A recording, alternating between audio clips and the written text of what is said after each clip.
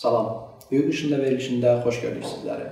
Yaşadığımız dövrdə informasiya kommunikasiya texnologiyalarının tətbiqi həm də ölkələrin inkişaf səviyyəsini müəyyən edən mühüm amillərdən biridir. İnformasiya mübadiləsi elektron şəkildə aparıldığından bu zaman fəaliyyət daha çevik, daha effektiv olur, eyni zamanda inzibati xərclər də azalır. Bu dəfəki verilişimizdə də biz elektron hökumətin vətəndaşlar üçün əhəmiyyətindən danışacağıq. Veriliş Avrasiya Əməkdaşlıq Fondu tərəfindən həyata keçirilən Azərbaycanda insan haqları demokratikləşmə və yaxşı idarə etmənin təşviqi proqramı çərçivəsində hazırlanıb. Verilişimizin qonağı Açıq hökumətin təşviqinə dair Hökumət Vətəndaş Cəmiyyəti Milli Platformasının koordinatoru Əlməmməd Nuriyevdir.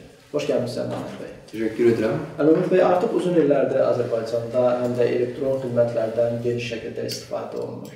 Elektron xidmətlər korrupsiyanın qarşısının alınması və idarə etmədə şəffaflığın təmin edilməsində hansı rola malikdir? Doğrudan da söylədiyiniz kimi artıq xeyli müddətdir ki, Azərbaycanda elektron xidmətlərin tətbiqi prosesi başlanmışdır və hər zaman da biz elektron xidmətlərin tətbiqi ilə bağlı e, daha geniş miqyas almasının şahid oluruq.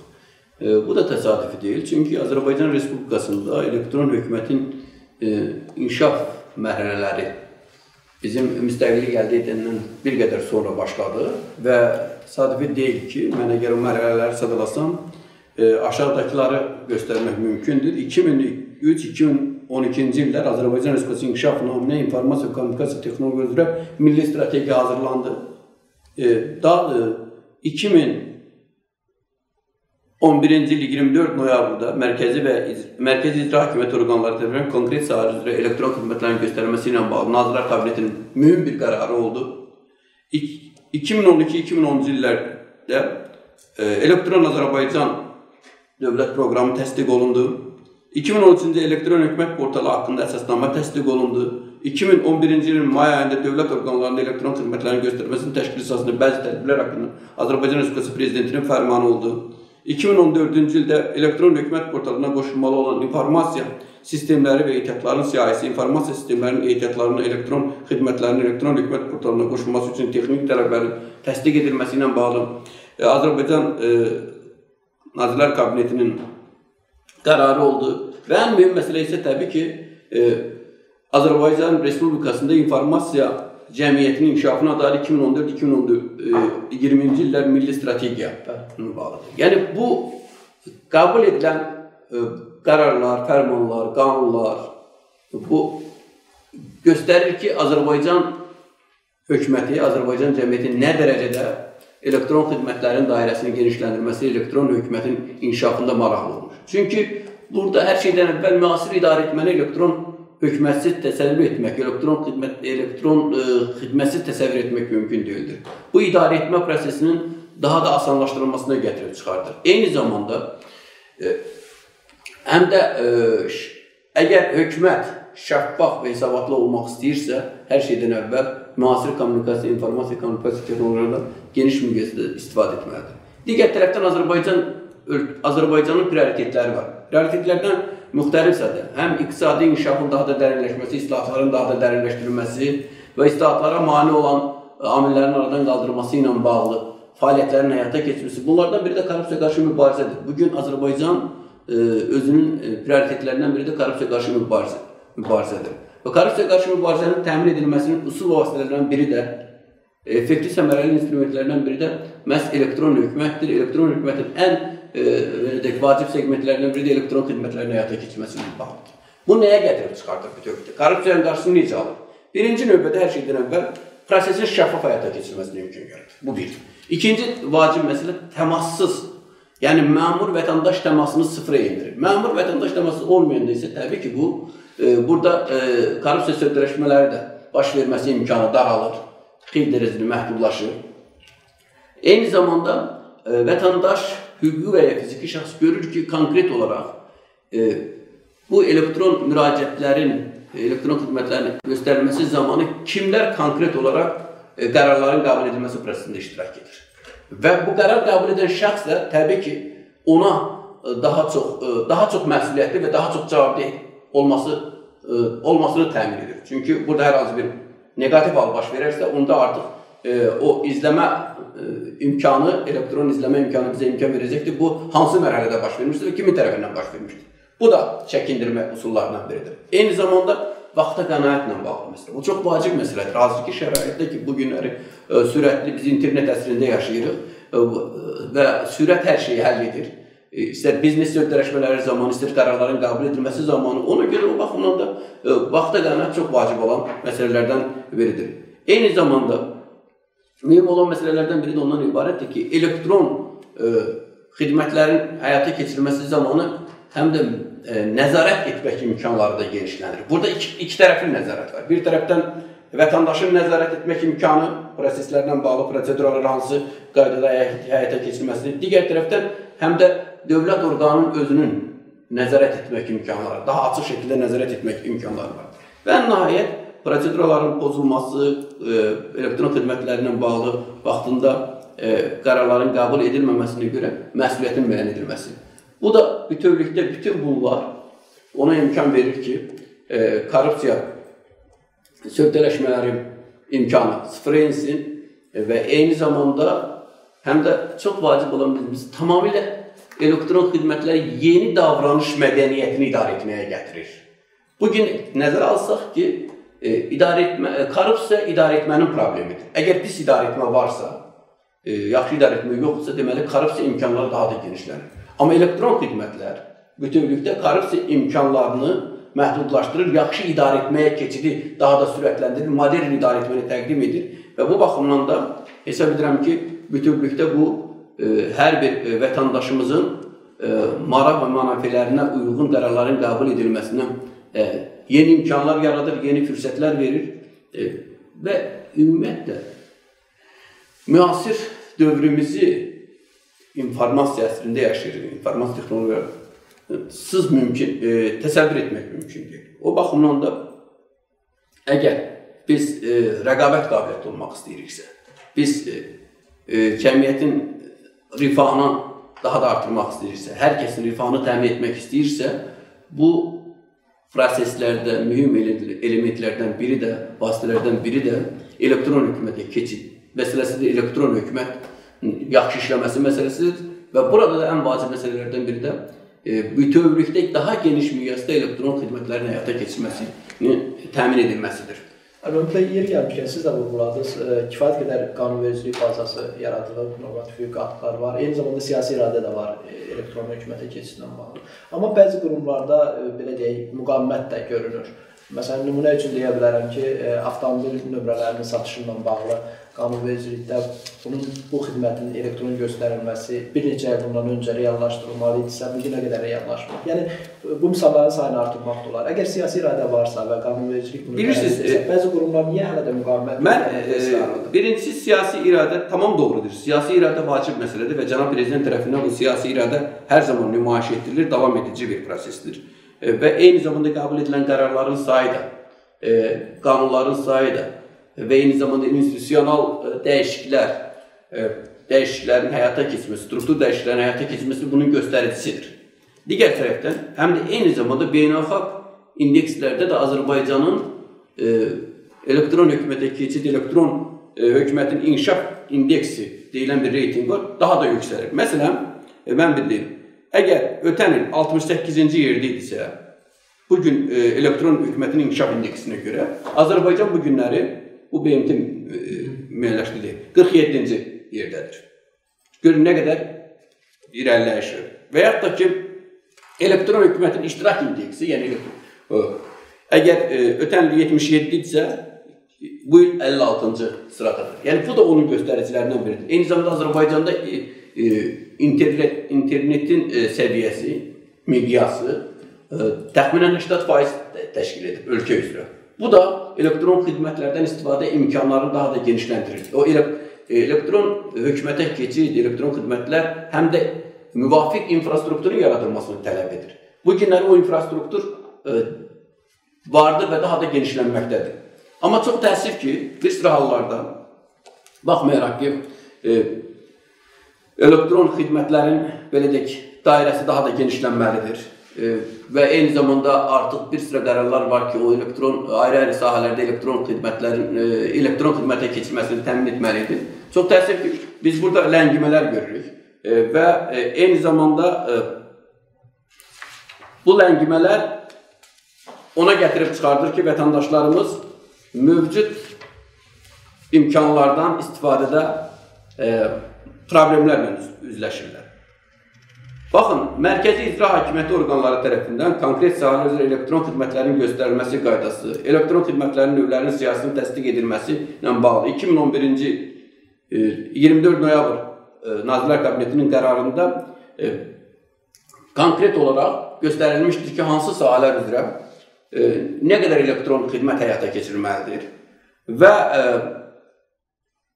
bu məsələlərin necə həyata keçirilməsi ilə bağlı Şəffaflıq Azərbaycan Təşkilatı monitorinq aparmışdı və bu monitorinq aparılarkən hər zamanda monitorinqin nəticələri müvafiq dövlət orqanlarına təqdim olunurdu və e, məsələn ilk belə hesabat 2011-ci ilin dekabr ayında olmuşdu, ikinci hesabat 2014-cü ilin e, dekabrında səslənmişdi. Əgər sonuncu yekun hesabat ötən il açıqlandı.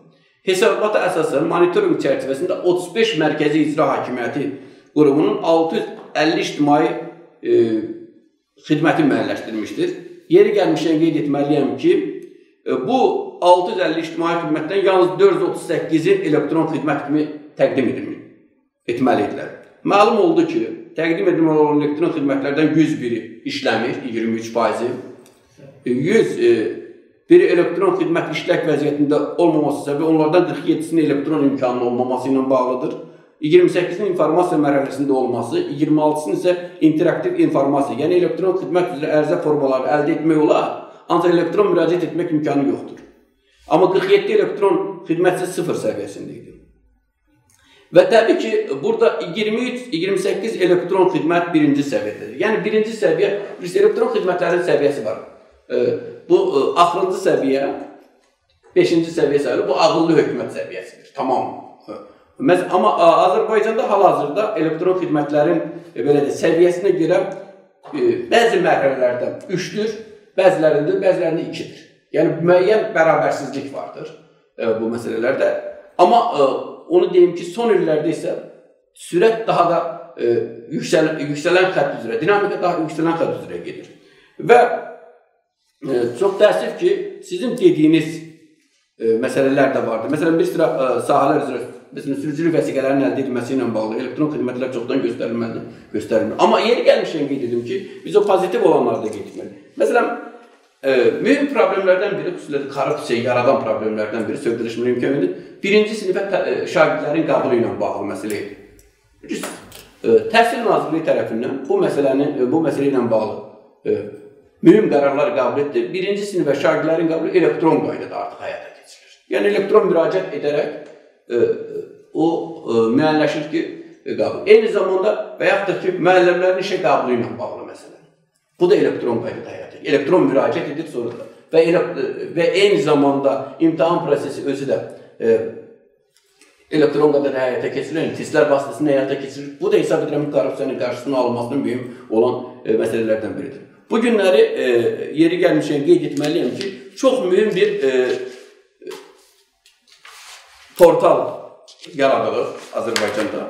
E, bu açıq hökumət məlumatları portalıdır. Bu çox əhəmiyyətli, vacib olan bir portaldır. Bu e, e, belə deyək, bizim dinləyicilər var, tamaşaçılar var. Qeyd etməliyəm ki, bu e, www.datagov.az e, belə ünvanı belədir, elektron ünvanı belədir və bunun bütövlükdə qanunvericilik əsasları tam e, tam müəyyən edilmişdir. Bu qanunvericilik əsasları özü də hardan götürür? Həm 2012-2015-ci ildə açıq hökumətin təşviqinə görə e, Azərbaycan Respublikası prezidenti tərəfindən imzalanmış milli fəaliyyət planı, həm də 2016-2018-ci illər açıq hökumətin təşviqinə dair milli fəaliyyət planı da öz əksini tapmışdır. Yeri gəlmişə qeyd edim ki, Azərbaycan hökuməti e, mühüm e, qlobal bir təşəbbüs olan açıq hökumət təşəbbüsünə hələ 2011-ci ildə qoşulmuşdur. Bu ilk qoşulanlardandır. Və burada bu qlobal təşəbbüsün də əsas məqsədi hökumətin açıqlıdır. Yəni hökumət vətəndaşları qarşısında hesabatlı şəffaf olmalıdır. İkinci mühüm məsələ informasiyanın əlçatanlığı məsələsidir. Bu informasiyanın əlçatanlığını biz necə əldə edə bilərik? İnformasiyanın əlçatanlığı o zaman mümkündür ki, müvafiq e, infrastruktur vardır. İnternet yayımı bütün ölkə üzrə tam genişlənmişdir. Bizdə bu şərtlər var e, və e, o, o geniş şəbəkədən, geniş zolaqlı şəbəkədən istifadə olunur. Bu da çox vacib olan məsələdir infrastruktur üçün. Eyni zamanda müvafiq vərdişlər və müvafiq proqram təminatı vardır. Və e, inteqrasiya müəyyən e, belə deyək informasiya, elektron e, informasiya resursları fəaliyyət göstərir və yaxud saxladığım portallar vasitəsilə və burada dövlət orqanları bu e, inteqrasiya olunub bu həmin elektron portalına nəinki dövlət orqanları, eyni zamanda e, bu portaldan e, hətta özəl sektorda istifadə imkanları var. Amma ən vacib olan məsələ bu ki, bundan ibarətdir ki, bununla bağlı müvafiq hüquqi təminatlar e, mövcuddur. Bu bu portal vasitəsilə məsələn, açıq hökumət portalında informasiya, yəni o məlumat bazalarının açıqlığı və əzədanlığı ilə bağlı. Məsələn, Mədəniyyət və Turizm Nazirliyi 8 e, informasiyanı açıq hökumət portalına yerləşdirmişdir. Nələrdir bunlar? Ünvan axtarışı üzrə məlumatın əldə edilməsi məsələsi. İstənilən ünvanı yazırsa, e, onu e, ünvanları e, tapmaq çox asandır, yəni bu. Obyektin axtarışı üzrə məlumat. Obyekti yazırsan və onun harda yerləşdirilməsi ilə bağlı məsələni dərhal müəyyənləşdirmək mümkün olur. İki məntəqə arasında avtomobil marşrutunun e, qurulması ilə bağlı məsələ. Və internet saytın səhifəsində internet aktiv kop map, yəni xəritə e, az e, xəritəsi əlavə olunmuşdur. Kopma.az xəritəsi əlavə olunmuşdur. Xəritəyə markerlər var. Markerlər vasitəsilə həm çox marker də ola bilər, tək bir marker vasitəsilə müəyyənləşdirib tapmaq olar. Digər tərəfdən bu həmin açıq hökumət portalına eyni zamanda məlum ə, e, e, portalına ə, e, Rabitə və Yüksək Texnologiyalar Nazirliyi 7 açıq 7 məlumatı daxil etmişdir. 7. Mobil nömrələrin daşınması ilə bağlı məsələ idi mobil cihazların e-mail nömrəsinin müəyyənləşdirməsidir, ölkə daxili yığım kodları ilə bağlı məsələdir, beynəlxalq ölkə kodları, küçə adlarının poçt ünvanları, çünki çox zaman biz e, bunları tapmaq üçün müəyyən əziyyət çəkirik, zəng etməliyik arasında, amma burada bu həmin portala daxil olmaqla bunu asanlıqla müəyyənləşdirir. Və yaxud Səhiyyə Nazirliyi tərəfindən e, bura 4 məlumat daxil edilmişdir. Dərman vasitələrinin haqqında məlumatlar. Bu günləri səhiyyə bu portala daxil olmaqla dərman vasitələri, istənilən dərman əgər lazımdırsa, onun harda, necə tapılması ilə bağlı məlumat əldə etmək mümkündür. Eyni zamanda ada görə immunoprofilaktika üzrə məlumatın verilməsi məsələsi, Ədliyyə Nazirliyində adların adlarla bağlı məsələ. Yəni həmin e, bu açıq hökumət portalına daxil olmaqla istənilən e, e, belə deyək, hansı adlar var, o adların istifadə etmək, öz övladıma qoymaq istəyirsən bununla bağlıdır. Eyni zamanda yeri gəlmişkən qeyd edim ki, mühüm məsələlərdən biri də ölkə başçısı tərəfindən e, elektron məhkəmə sisteminə keçidlə bağlı olan məsələdir. Bilirsiniz, bu məhkəmə bu gün e, məhkəmə hakimiyyəti e, bizim hüquq və azadlıqlarımızın etibarlı təminat təminatçılarından biridir və ən vacib bir e, institutdur. Amma e, burada müəyyən problemlər vardır. Belə ki, e, daxil olan müraciətlərin e, müraciət icraatın icraatın bölünməsi ilə bağlı məsələlər, icraatın nə vaxt müəyyən edilməsi, bununla bağlı e, artıq həmin e, elektron məhkəmə sistemləri vasitəsilə yeri gəlmişə 4 məhkəmədə artıq bu təmin olunub. Bundan istənilən şəxs elektron qaydada müraciət edə bilər. İddiaca sizin müraciəti göndərib daxil olur və s. Və yaxud da ki, eyni zamanda bu zaman işlərin e, nə zaman baxılması ilə bağlı məlumat almaq imkanları var. Yəni genişlən bu məsələdə hesab edirəm ki, həm vətəndaşların rahatlığını təmin edir. Çünki e, məmulluğunu təmin edir. Eyni zamanda onlar üçün vaxta qənaət etmək məsələsində həm də birbaşa təmas prosesini aradan qaldırır. Gedib getmirsən sabahları gedirsən, əvvəllər belə idi, gedirsən e, hakimin, katibinin yanında biraz qalırsan, dəftərxanada bir qədər qalırsan, onu, onu verirsən. Sonra o sənədləri təqdim etməlisən. Sonra gündə gedib nə vaxt öyrənməlisən. Bütün bunların qarşısında bu proseslər hesab edirəm ki, inkişafat olur. Amma əlbəttə ki, əlbəttə ki, bayaq söylədiyim kimi 600-dən artıq ə, e, ictimai xidmətlər var. Bu xidmətlərin yalnız 400 400-dən e, artığı 460-ı 460-ı e, Nazirlər Kabinetinin e, belə o elektron xidmətə keçilir. Amma bu daha sonrakı xidmətlərdə elektronlaşmalıdır. Və elektron, təkcə elektronlaşmamalı, təkcə in, informativ xarakter olmalıdır, interaktiv formada olmalıdır. Eyni zamanda bütövlükdə e, müraciətdən sona qədər olan bütün o diskli dövriyyəni tam əhatə etməlidir. Bax, bu günlər qarşıda duran hədəf budur və buna doğru gedir.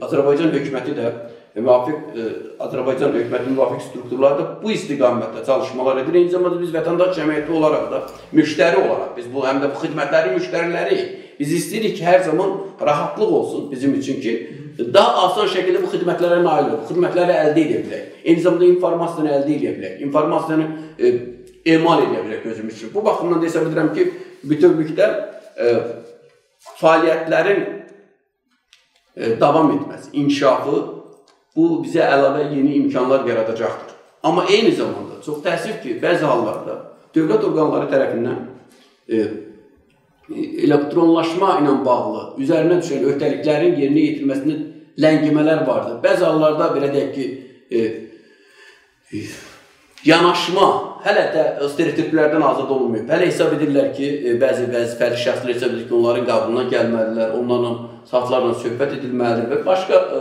bu belə bir e, o stereotiplər hələ ki mövcuddur. Eyni zamanda yeni informasiya kommunikasiya texnologiyalarına yiyələnməklə bağlı məsələdə də vərdişləri əldə etməklə bağlı da problem vardır. Çünki ola bilsin ki, çox yaxşı proqram təminatı var, infrastrukturu var, amma hər şeydən əvvəl o infrastrukturdan istifadə etmək üçün vərdişlər olmalıdır. Bax, bu da çox vacib olan məsələdir. Məsələn, e, bir məsələni deyim, onsuz e, bu, bu da çox e, vacib olan məsələdir. Ünvanlı sosial yardımla bağlı məsələlər. Yer gəlmişkən Əmrullah bəy, onunla bağlı bir sualımız da olacaq. Bayaq siz inteqrasiyadan danışdınız. Bu xidmətlərin əksəriyyəti elektronlaşdırılıb, 460-lar artıq xidmət. Amma bəzən görürsüz ki, burada inteqrasiya təmin olunmuyor. Məsələn, elə ünvanlı sosial yardımın verilməsi ilə bağlı məsələ artıq elektronlaşdırılır və vətəndaş elektron müraciət edə bilər. Amma bəzən vətəndaşlar elə məlumatlar o ərizə formasında tələb olunur ki, bunu dövlət qurumu özü digər dövlət qurumunun bazasından əldə edə bilər. Avtomobilin olmasından bağlı məlumat, kreditin olmasından bağlı məlumat və s. Bu inteqrasiyanın təmin olunması üçün e, məsələ ünvanlı sosial yardımla bağlı və digər məsələlərlə bağlı nə kimi tədbirlər görülməlidir? Heç şübhəsiz mən sizinlə tamam razıyam. Azərbaycanda doğrudur. Vahid elektron müraciət və təyinat alt sistemi fəaliyyət göstərir bu elektr ünvanlı sosial yardımla bağlı. Xeyli dərəcədə asanlaşdırmışdır işləri. Eyni zamanda korrupsiyanın qarşısının alınmasında mühüm problem. Çünki bilirsiniz ki, bu ünvanlı sosial yardımın verilməsi ilə bağlı çox ciddi problemlər vardır. Dəfələrlə ölkə başçısı tərəfindən xəbərdarlıq edilmişdi. Eyni zamanda konkret olaraq göstəriş verilmişdi. Bu sistem artıq ünvanlı sosial yardım verilməsi elektron vasitə, elektron internet üstündən verilməz. Yəni təyin edilmə prosesləri ilə bağlı. Eyni zamanda əlilliyin müəyyən edilməsi ilə bağlı məsələdir. Bu istiqamətdə xeyli dərəcədə belə deyək ki, bu gün artıq e, bu sistem qurulmuşdur. Amma bu sistem o deməkdir ki, informasiya kommunikasiya hər gün inkişaf edir, hər saat inkişaf edir. Ona görə uyğunlaşma lazımdır, bu sürətdə uyğunlaşma lazımdır. Proqram təminatını vaxt-vaxtına təzələmək lazımdır. Və eyni zamanda e, yeni e, belə deyək ki, imkanları genişləndirmək lazımdır. Çox təəssüf ki, sizin dediyiniz kimi bir sənədlər var ki, o sənədlər e, dövlət orqanlarının məlumat bazalarında vardır. Sadəcə o məlumat bazalarına girib onu istifadə edir. Bu məlumat bazalarına girmək üçün isə həmin dövlət orqanlarının e, həmin portala inteqrasiyası çox vacibdir. Bu e, burada rənglik vardır. Burada e, bir qədər mən e, yeri gəlmişkən qeyd edim ki, e, tez-tez e, hər il demək olar ki, həm multimedia mərkəzi, həm sizin e, sizin təşkilat, həm Şəffaflıq Azərbaycan təşkilatı, bizim Konstitusiya Maarif Fondu mütəmadi olaraq monitorinqlər aparır. Nə dərəcədə bu inteqrasiya prosesləri sürətlənir, nə dərəcədə e, belə deyək ki, təminat sistemi genişlənir. Və bunu e, e, həmçinin bilirsiniz ki, Azərbaycanda e, Azərbaycan intellektual brendi olan Asan Xidmət fəaliyyət göstərir. Vətəndaşlara Xidmət İnnovasiyalar Agentliyi və həmin Vətəndaşlara Xidmət İnnovasiyalar Agentliyinin e, əsas fəaliyyət istiqamətlərindən biri də elektron xidmət xidmət e, elektron xidmətləri keçidin vəziyyətini qiymətləndirmə ilə bağlı olan məsələ. Artıq 40 dövlət orqanında belə qiymət qiymətləndirmə prosesinə başlanıb aparılır və bu qiymətləndirmənin nəticəsi olaraq doğrudan da birincisi e, o müəyyənləşdirilib ki, e, hansı dövlət orqanlarında nə dərəcədə elektronlaşma səviyyəsi nə dərəcədə, nə dərəcə səmərəli effektiv fəaliyyət göstərir. Hansı sahələr, hansı xidmətlər elektronlaşmalıdır. Yeri gəlmişən qeyd edim ki, e, Asan xidmətin yanında, e, bu agentliyin yanında elektron şura fəaliyyət göstərir, vətəndaş cəmiyyəti nümayəndə. Biz də mütəmadi olaraq məsələləri müzakirə edirik və e, bir çox təkliflərlə də çıxış edirik. Bu günləri e, mənə elə gəlir ki, mənim fikrimcə, həm də ə, Açıq hökumətin təşviqi ilə bağlı Milli Fəaliyyət Planında 2016-2018-ci il üzrə cənab prezident tərəfindən verilən göstərişlərdən biri də ondan ibarətdir ki, nəzərdə tutulan tədbirlərdən biri də ondan ibarətdir ki, bütün dövlət orqanları ə, xidmətləri asan standartlarına uyğunlaşdırmalıdır. Asan standartları səviyyəsinə çatdırmalıdır. Və bu indi asan indeks ə, asan indeks yaradılır və bu hesablamalar aparılır və monitorinqlər həyata keçirilir. Mənim düş, e, bildiyim qədərdən həmin sizin söylədiyiniz o problemlərin həlli də bu istiqamətdə e, qiymətləndirmənin nəticəsindən asılı olacaqdır və artıq bir çox tövsiyələr verilir. Elektronlaşma, həm xidmətlərin elektronlaşma səviyyəsinin artırılması və yaxud dediyimiz kimi sadəcə o birinci, ikinci səviyyə yox, 3, 4 daha yuxarı səviyyəyə keçidlə bağlı məsələ. Bu həm də elektron xidmətlərdə keyfiyyətin artmasına gətirib çıxardacaqdır. O baxımdan düşünürəm ki, dövlət orqanları həm də e, bütövlükdə asan xidmətin həyata keçirdiyi fəaliyyətlərdən nümunə götürərək öz fəaliyyətlərini yeni qaydada qurmalıdırlar və elektron informasiya kommunikasiya texnologiyalarının maksimum dərəcədə istifadə etmək. Bunun üçün həm də kadrları cəlb etmək lazımdır, proqramistləri cəlb etmək lazımdır, onlarla işləmək lazımdır. Eyni zamanda vətəndaş cəmiyyəti ilə e, elmi birliklərlə, müəssisələrlə məsləhətləşmələr həyata keçirmək lazımdır. Bəs Bunu... vətəndaşların e, bu proseslər barədə məlumatlar olması üçün nə kimi tədbirlər görülməlidir? Çünki e, Bu bütün bu xidmətlər vətəndaşlar üçündür, amma bəzən vətəndaşlar özləri hansı xidmətlərin göstərilməsindən məlumatsızdır. Bilirsiniz, e, çox təəssüf ki, bu faktlar da var. Doğrudan da bəzi dövlət orqanları hansısa bir xidmətin e, belə deyək elektronlaşır, amma bununla bağlı zəruri e, məlumatlandırma kampaniyası aparmır. E, və nəticədə vətəndaş əgər bu günləri gedib tutaq ki, hansısa bir rayonlarda soruşsan ki, bax sən bunu eyni zamanda konkret olaraq hər hansı bir xidməti gedir. Bunu elektron qaydada həyata keçirir. Onların bəziləri bu barədə məlumatsızdır. Məlumatsızdır çünki həmin dövlət orqanının e, vətəndaş cəmiyyətindən yaxşı işləmir. Biz başa düşürük ki, dövlət orqanı çoxlu fəaliyyət həyata keçirir. Onun vaxtla bağlı problemi var. Amma elə məsələlər var ki, onu vətəndaş cəmiyyətinə ötürməklə, vətəndaş cəmiyyətinə sifarişlər verməklə bunu həyata keçirə bilər. Biz böyük məmnuniyyətlə, bax elə sizin bugünkü verilişinizlə bu layihə çərçivəsində həyata keçirilən tədbir də ona xidmət edib ki, biz elektron xidmətlər haqqında cəmiyyəti, ictimaiyyəti məlumatlandıraq. Eyni zamanda elektron xidmətlərin necə hansı qaydada həyata keçirilməsi barədə əlavə məlumatlar verək. İnsanlarımız biliklənsinlər, məlumatlandırsınlar, maariflənsinlər ki, bundan nə istifadə edir. Və mənə elə gəlir ki, əks əlaqə sistemi yaxşı qurulmayıb bizdə. Biz bunu dəfələrlə deyirik. Yeri gəlmişkən, bu əks əlaqə sisteminin qurulmasının bir çox üsulları var. Birincisi, yenə deyirəm, bir usul medianın imkanlarından istifadə etmək. Çox vacibdir. Media bugün e, Azərbaycanda e, 100% yəni televiziyadan e, istifadə etmək imkanları var. 100% televiziya e, bütün e, regionları əhatə edir. Bu bir. İkinci tərəfdən də regional televiziyalar fəaliyyət göstərir. Bu, bu. Üç, üçüncü vacib olan e, məsələ budur ki, internet, yenə söylədim ki, 80%-dən artıq Azərbaycan arasındadır.